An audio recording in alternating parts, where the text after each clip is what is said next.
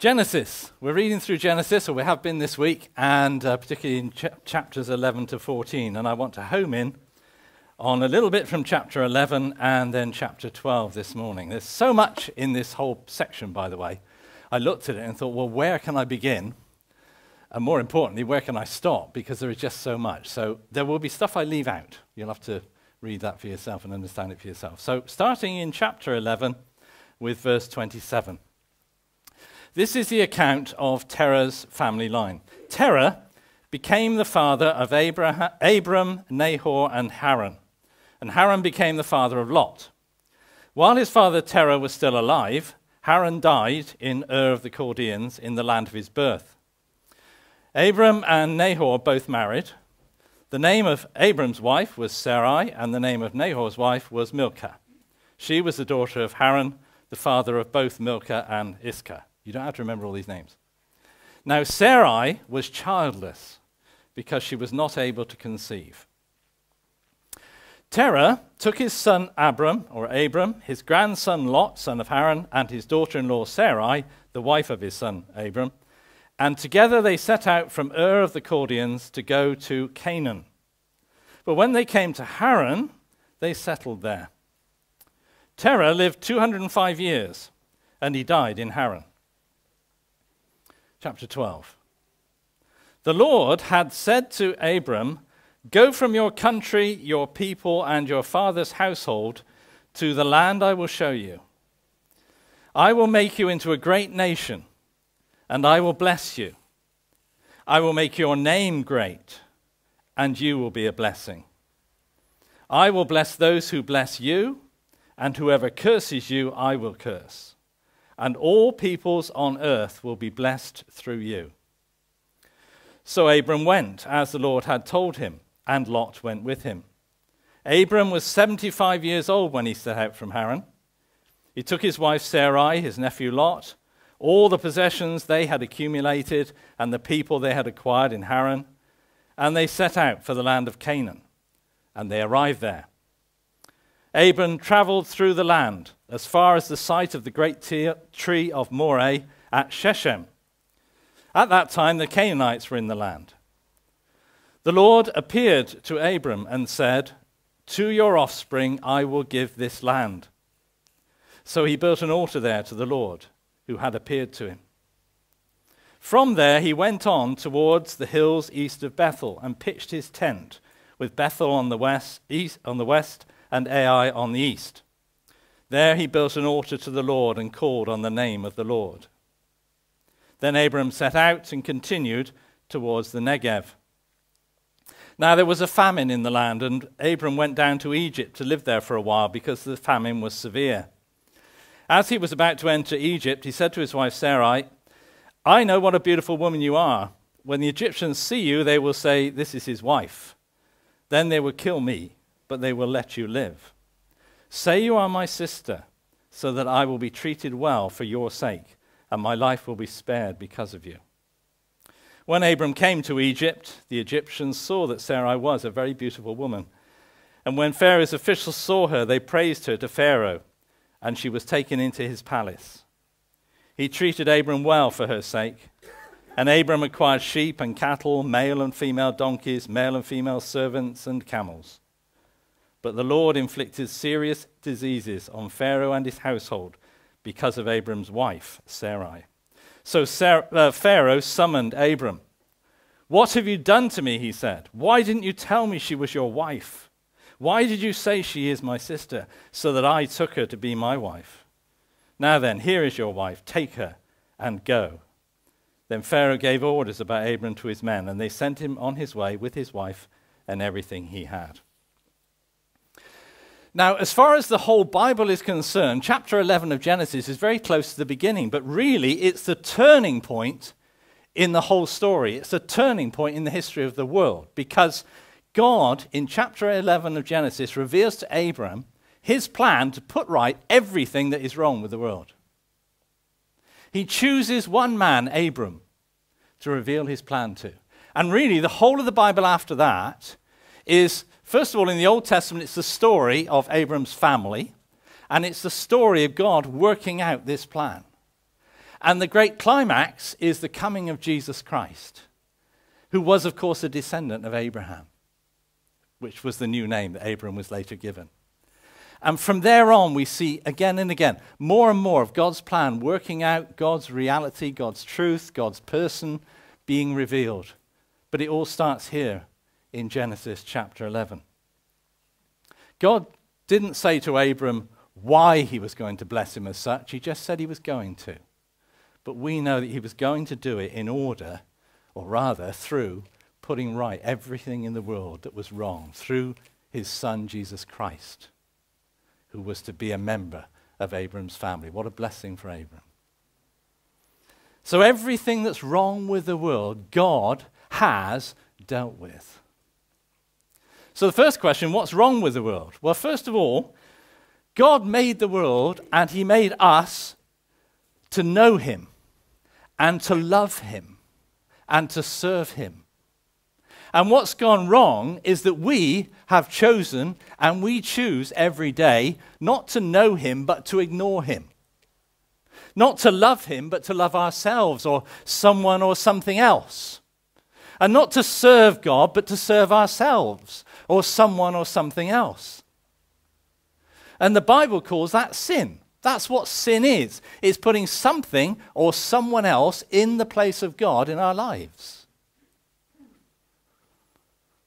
And the result of doing that is that we lose contact with God and we lose our understanding of the true meaning of life. God becomes remote, distant. We're not sure about him. We don't know him. And it's our fault. It's not his fault. We put all sorts of things in God's place. But in the long run, nothing satisfies us. Nothing brings us lasting peace of mind. Nothing brings us genuine hope for the future. Without God, we are lost. We face an unknown future. We face an uncertain destiny. Death fills us with fear because we don't know what comes after. But God is love. And because He's love, He's done something to restore what is wrong, to restore our relationship with Him, to undo our sin, if you like. And He chose Abram and his family as the means through which He would do it. Abram is such an important character in the story of the Bible, in God's story. Why he chose Abram, I've no idea. And I'm sure Abram had no idea. Now, I want to make several points this morning, but the first point I want to make is that it is God who makes the difference. It's God who takes the initiative. It's God who chooses Abraham. It's God who has the plan. It's God who can put the world right.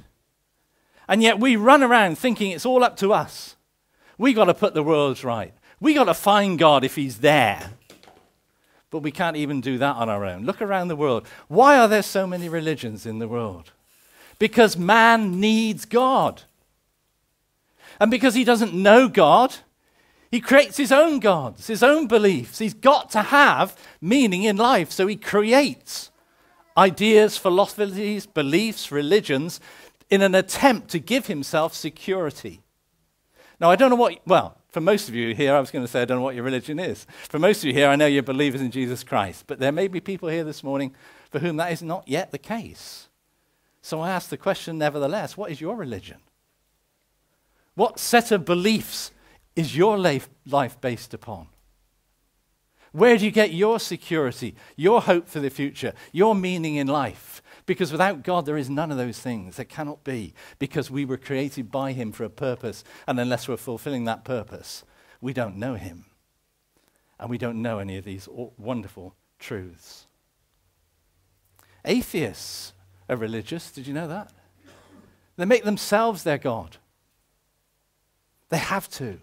They have to depend on themselves, to trust in themselves, because they need God.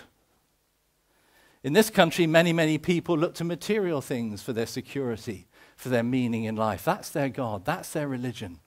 And they worship in the shopping malls and in the sports stadia and in the academies of cleverness.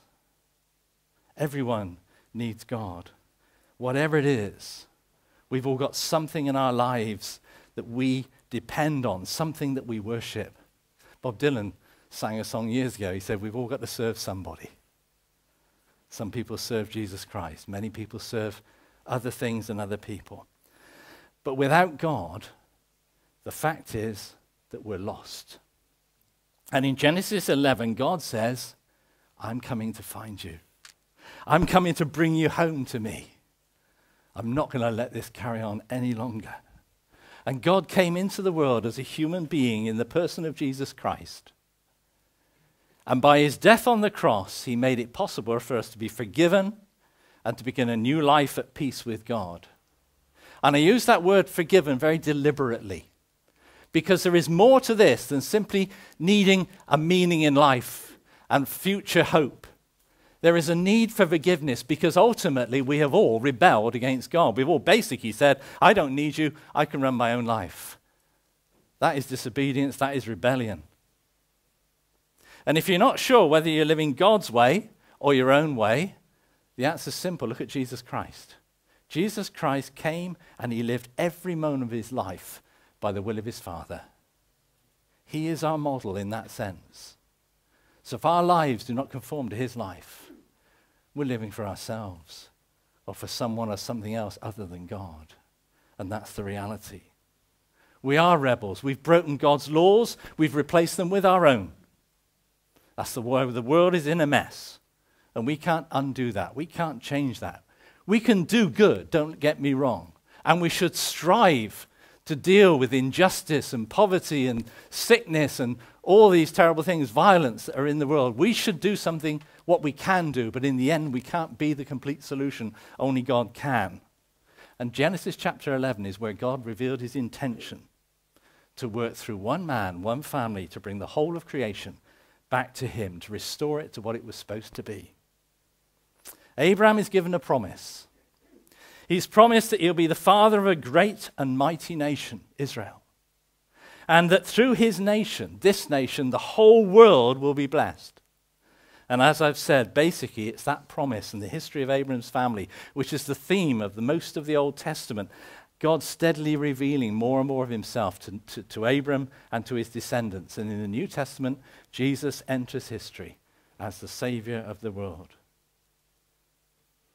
And Abraham, ever since, really, I suppose, has been the great example of faith in the Bible, even though he lived 2,000 years or more before Jesus.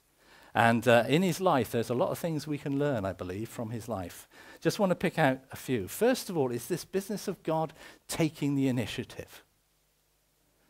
It's God who has the power, it's God who has the wisdom, it's God who has the love to deal with any situation we face at all. And think about Abraham's background. Abram was not from a believing family. He grew up in a land where people worshipped idols and false gods. In fact, the people where he lived worshipped the god of the moon. In fact, his father, Terah, that name comes from a Semitic word for moon. That was the worship, and no doubt Abram's family worshipped the moon god the same as everybody else did in their culture. But it didn't stop the one true God stepping into his life and saying, Abram, go. Go where I send you. And it didn't stop Abram recognizing God's voice. That's the most amazing thing to me. God reveals himself. We do not discover God. If you think about how you became a Christian, was it by your efforts or did God reveal himself to you? Because my belief is we only know God because he shows himself to us in some way or another and he showed himself to Abram. It's fascinating. He said, Go from your country, your people, and your father's household to the land I will show you. Not to X or Y, you know, not to Egypt or to Syria, but I'll show you where. First of all, get on your feet and start going. We so often want to know where we're going when God says, I want you to go and do something. God just says, Well, are you willing to go in the first place? If you want to know where you're going, that puts a question mark in my mind about whether you're willing to really do it or not. Will you go? That's the question. Not will you go to X or Y. Abram, go. And he goes and he gets to Canaan, and God appears to him. As far as we know from Genesis, up until then, all Abram knew was that God had spoken to him. In, ver- in, verse 1 of chapter 12, it says, The Lord had said to Abram. But then in verse 7, it says, The Lord appeared to Abraham. And there he says, To your offspring I will give this land. He's now there. There's the land in front. He says, Look around. This is for you and your offspring. I brought you here for that. God speaks. Abram obeys. Then God appears and reveals a little bit more of the story. God never tells us the whole story at once. He starts off with just what he knows is enough for us. And then as we move on, he reveals more and more and more. Don't try to get ahead of God. You'll fail anyway, and it's not worth the effort. The point is, God is in control. He comes to Abram, he speaks to Abram, he tells him what he wants him to do. And sometimes we behave as if it's all down to us. We have to seek God, we have to find God. No, we don't.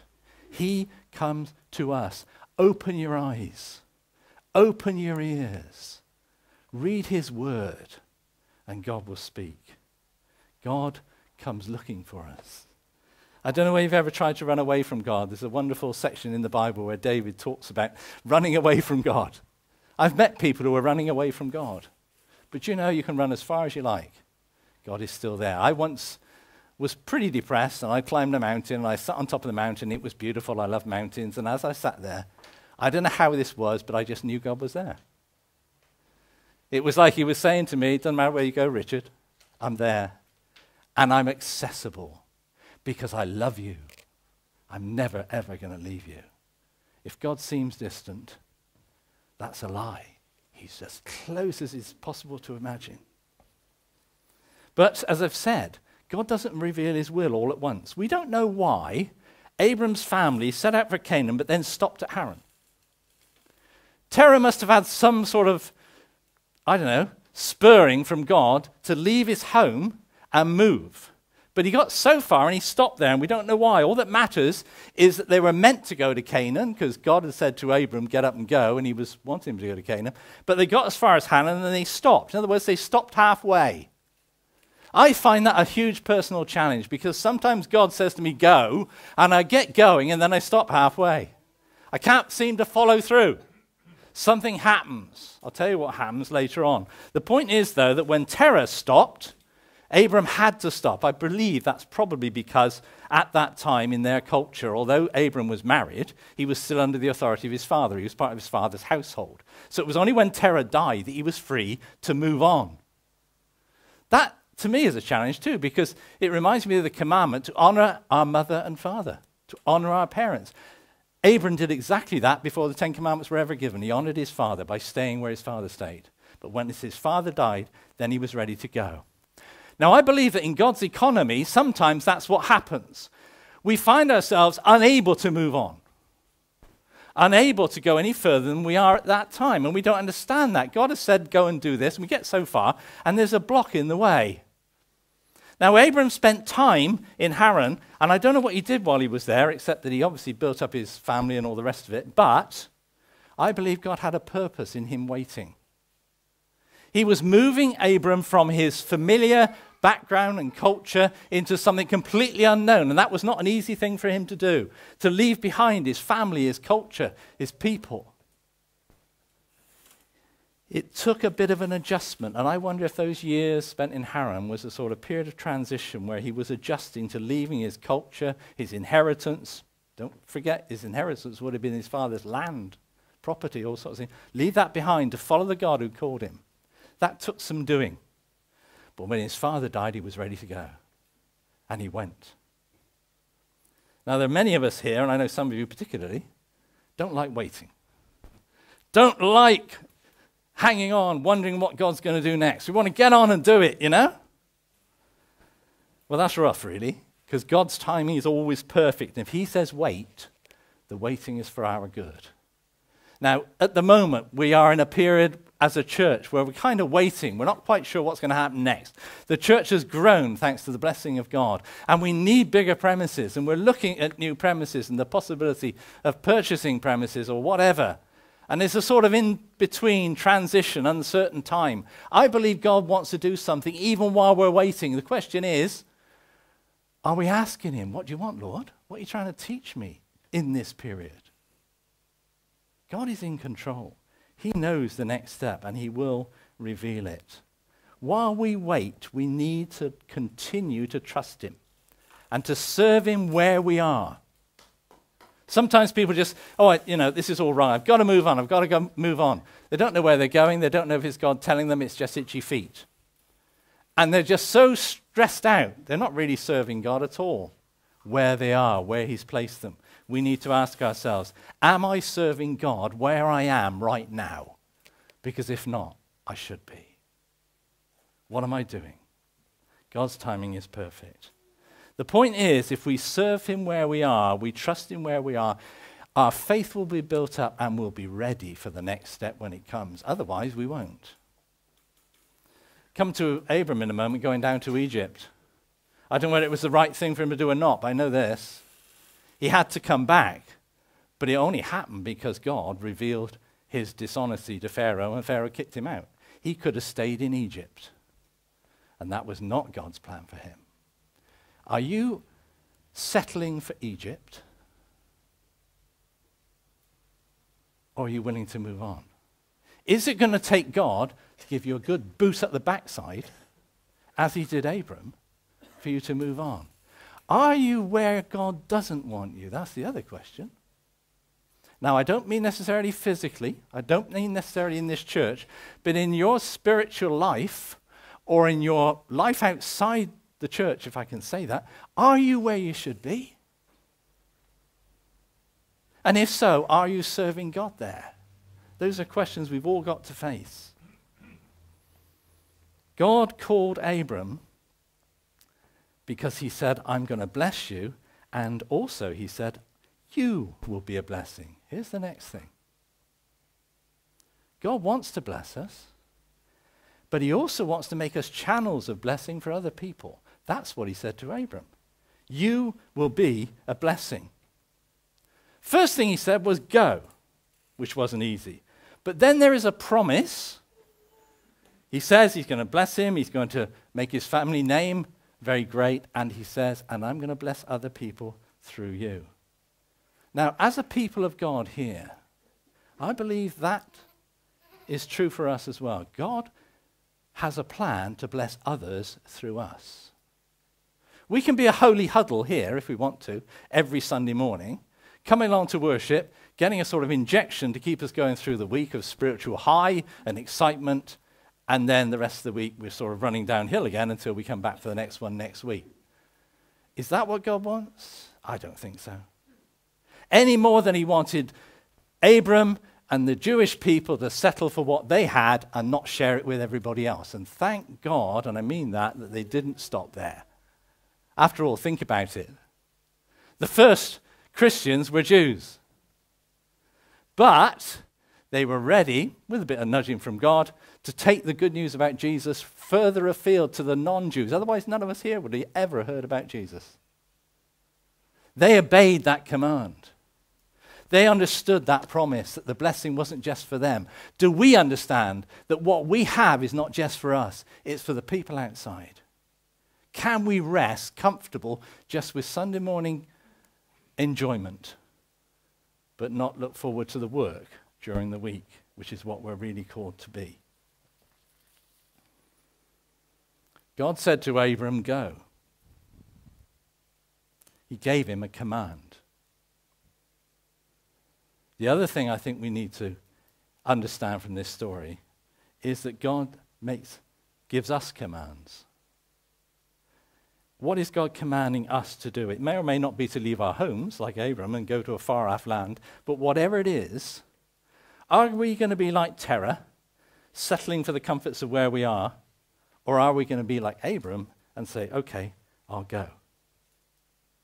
That's the question. But finally, when Abram got to where he'd been sent, when he got to Canaan, what did he discover? Within no time at all, a famine. He must have said to himself, What's going on here? God says, Go here and I'll bless you, or I'll bless your family, I'll make you a blessing to all. And there's a famine, God. How can that be right? I've got to say to you, it does seem to me that if we set out to follow God, we can expect to encounter huge obstacles. And our reaction to those obstacles is absolutely critical. If we say, oh, this can't be the will of God, I'm going somewhere else, forget it. That's not it. That's not the way to respond at all. What did Abram do? Unfortunately, he took matters into his own hands. Now, that's the other thing we do, isn't it? We get an obstacle, and we say, oh, I know what to do about that. We rely upon our own reason, our own power, our own strength, say, I can sort this out. We never consult God at all. We don't ask ourselves, what is God doing through this obstacle? What is He saying to me, to the church, through this obstacle? The fact that we may not get this building. If we don't, well, what does that mean? Does it mean we have to go and, you know, give a backhander to the council? I don't think so. But you see, that's what some people might think. You know, I don't know. Or they might think, oh, well, I know somebody who knows somebody. He can have a word in the right ear. Is that what we're supposed to do? I shouldn't think so. So, what will it mean if it happens? When Abram saw the famine, he left for Egypt. I don't know whether God wanted him to do that or not. But the end up was he ended up depending on himself instead of upon God. Because he was afraid, he was afraid the Egyptian men would kill him so they could have Sarah, he lied. And he didn't just lie, he involved Sarah in the lie as well and put her into a terrible situation. It says in the scripture that she was taken into the house of Pharaoh. Well, we all know what that means. And then, because God was not prepared for this to go on, he exposed Abram's lies so that he would be sent back to where he was supposed to be. Now, that seems to me a terrifying intervention by God. And it says to me, if I'm prepared to go down that road of doing things my way, even to the point of lying, God is quite ready to expose me in order to get me back on the road again. I don't want that to happen to me. I don't know about you. Do we want God to expose us for what we really are when we're not following Him, when we're not obeying Him? Or will we come to Him now and say, Sorry, Lord, I got it wrong. Help me to put it right. Help me to get back on the track. You know, we do this so often in our lives, don't we? We go off along our own little ideas, we do things our way, and we don't realize how much it grieves God's heart and how much it interferes with his opportunity to bless us. Obstacles are meant to be blessings. They're sent to, somebody said they're sent to make us, not to break us. And how we respond to obstacles. Do we depend on God to see us through, or do we go back, as Abram did, to depending on himself? You see, Abram's problem was that he thought God sometimes had a need of a helping hand. You know, you read the rest of the story, there's many occasions then that's it. Do we think God needs a hand? I don't think so. He's able to do what he wants to do. But the wonderful thing is, he wants to use you and me. Abram is a man of faith, but occasionally that faith failed him. I'm re- reassured by that. But I want to be like him. I want to follow him. I want to go where God sends me. I want to be a blessing to others. Do you want to do that? Let's all do it together, shall we?